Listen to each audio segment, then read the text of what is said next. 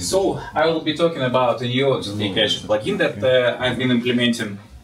It's called Parsec.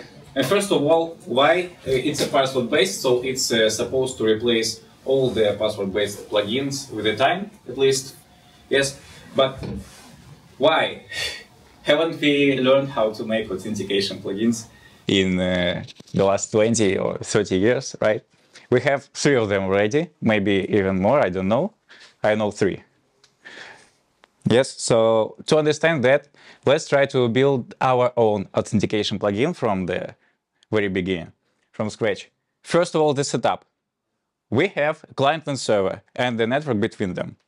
Yes, if we wouldn't have a network, some things could be much simpler. But here we always uh, suppose that we can be heard.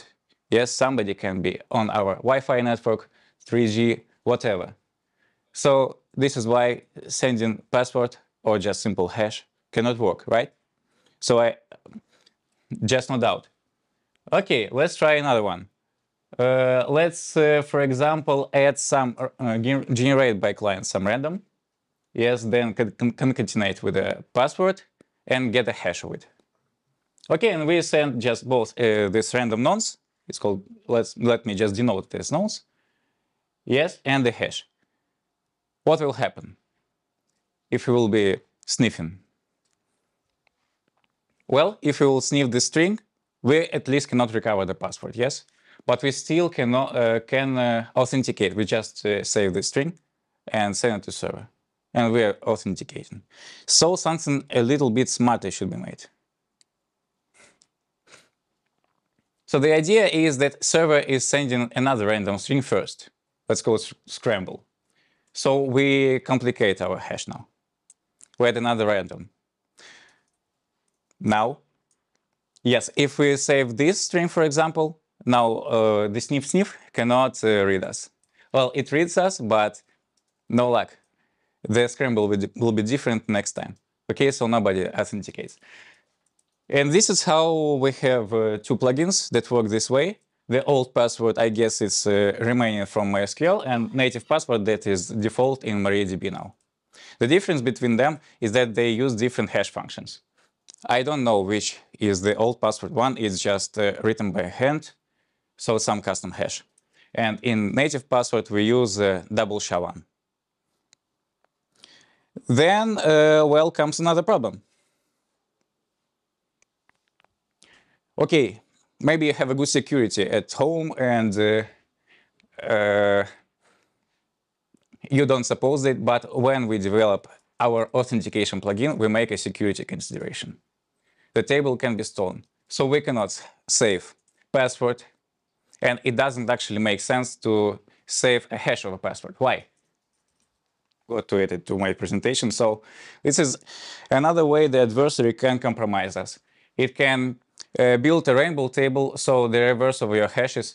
This is why, uh, for example, I had before uh, what? I had before nonce plus hash.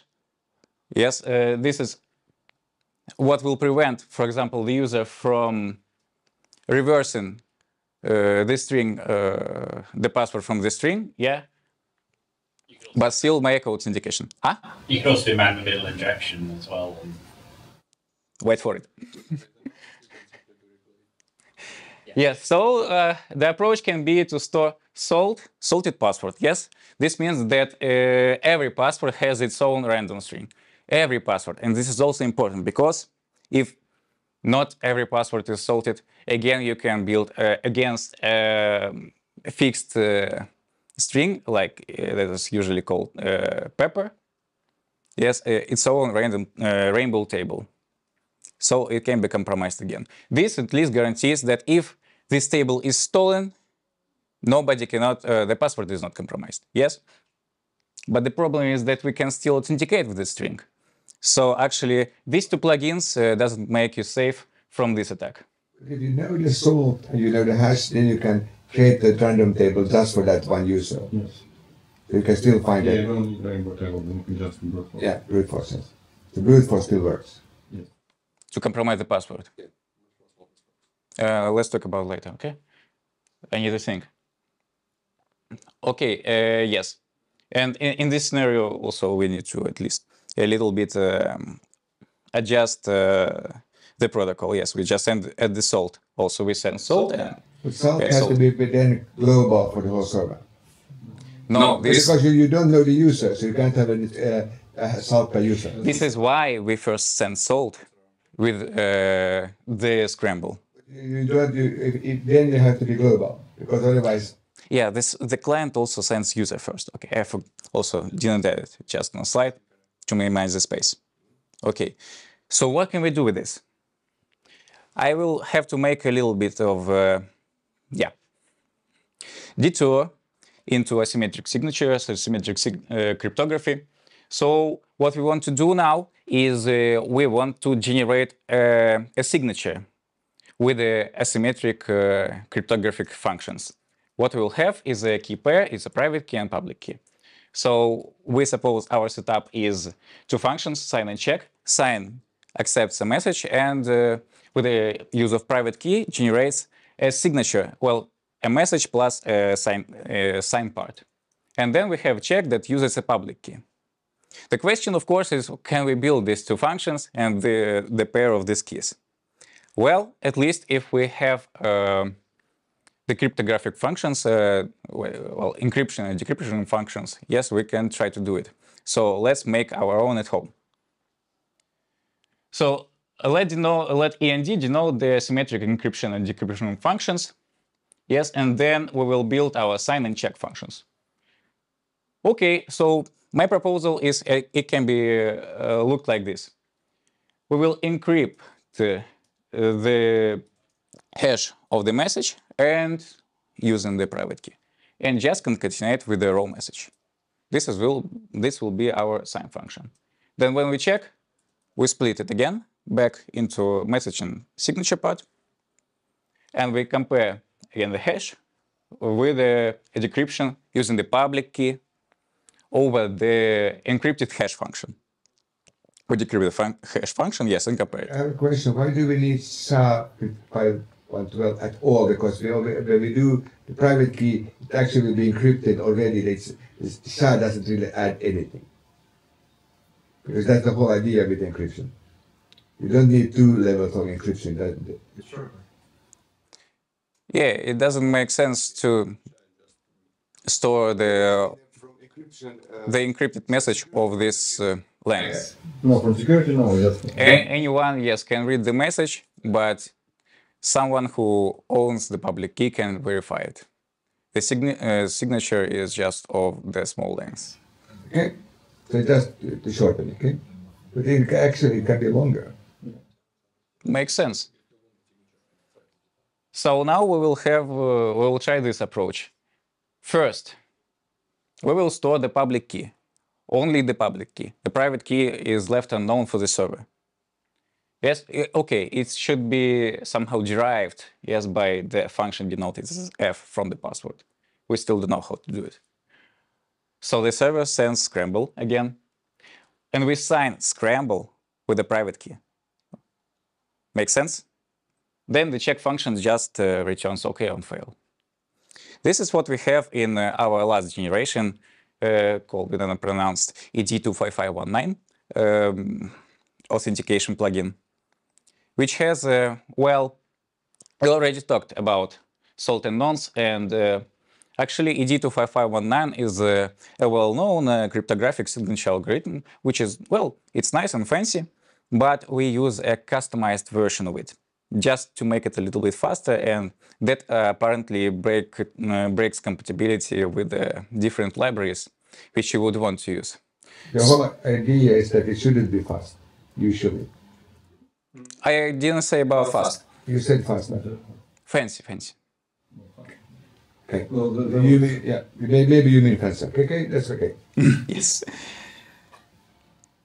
So what's the problem with it? Now we have it.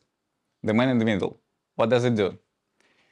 It pretends it's a server, and it, it sends scramble equals zero to the client. So then the client always signs zero with its private key, right?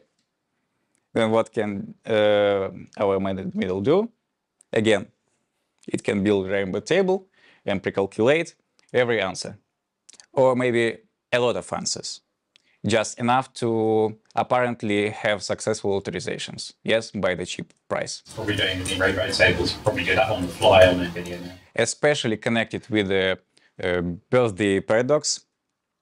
Just um, How does that help? Because for a real survey, you will not get a scramble zero. No, no, the, the middle can replace the scramble, make the client sign zero, and then it's the calculation. Yeah, the man in the middle can log in with this approach. No, with the with this approach, the man in the middle fails to authorize, but it pretends it's a server and it gets a signature of zero with our private key. This is what it does. In this part, it doesn't try to make a suc- successful authentication, but it can make it by just proxying. Then it rainbow table to reverse the steam and get the private key, and then okay. So let's see again. No salt, no nonce. Let's add the salt and nonce to the scheme. And this is what parsec does. Flow by bits, so you can't really do a rainbow. So, sorry, Monty, please. So we now send uh, two things from the server again, salt and scramble, and we sign, okay, S is uh, it's ex- exception, uh, nonce and scramble with uh, something derived from password. Well, basically with a password, with a private key derived from password. Let's uh, see what's under the hood of parsec. Yeah? Oh. Nothing. It's mistake. Typo. So no, no S plus. No S, no S, no S. Nonsense scramble. Yep. What does the man in the middle prevent from just uh, sniffing the traffic without knowing the password? I mean, if, if you assume that there can be a man in the middle, and you have no, uh, the server doesn't authenticate itself towards the client, there can be a man in the middle. If there can be a man in the middle, you can just forward all authentication packets and listen to all the traffic and inject uh, new commands. You can do that if you have no uh, eh, security, extra security layers, for example, encryption. If you have TLS, all of that doesn't count because everything is encrypted, uh, and you can have a man in the middle. If you have a certification, Not quite. Yeah, for example, we need to verify the uh, certificate. Know what we are talking about. okay, I, I have a slide with this authentication scheme, just a little bit, uh, five minutes, two. Yeah, of course you can replace salt.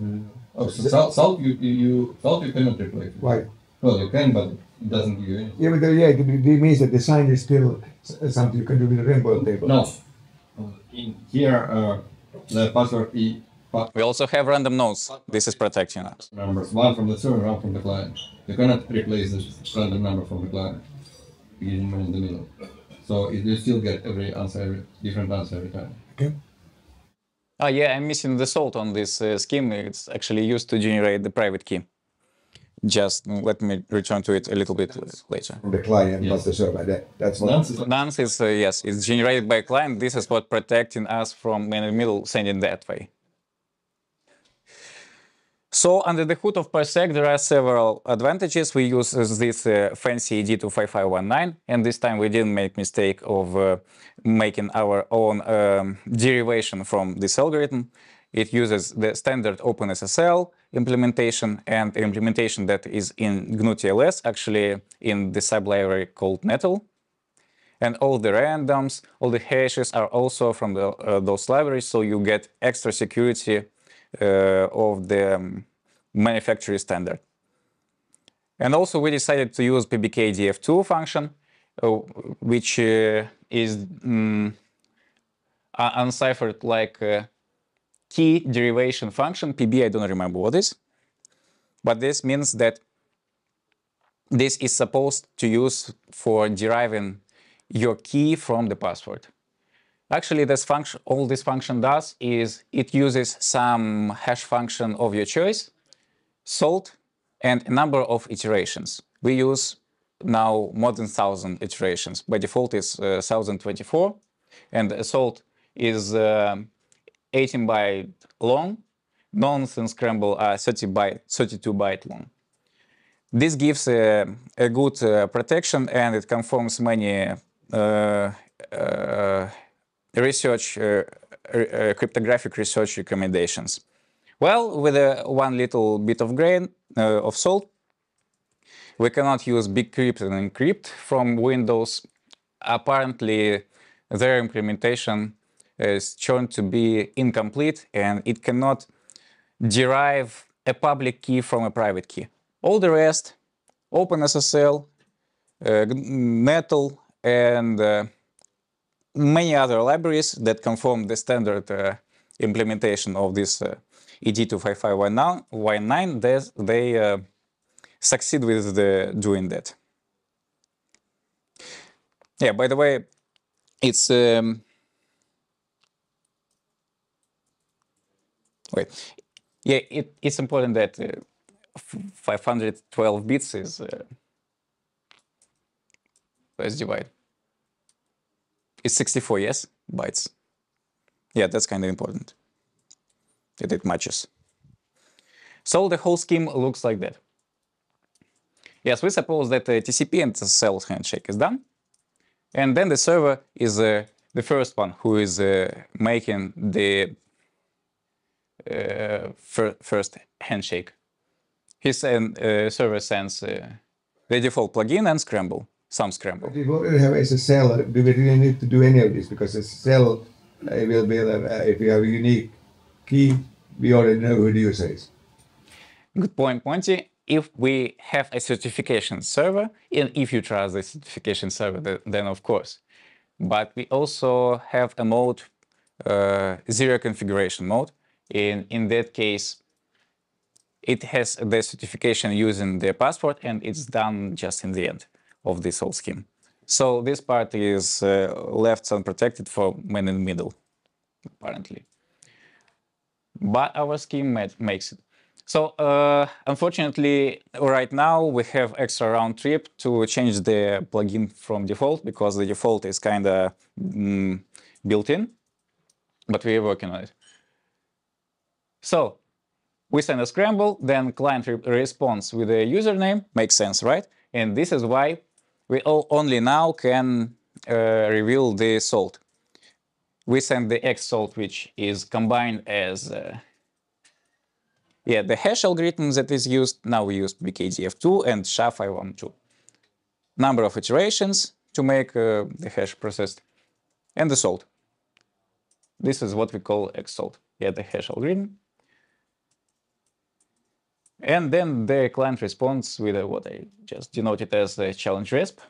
This string you already are familiar with. And this is how we just generate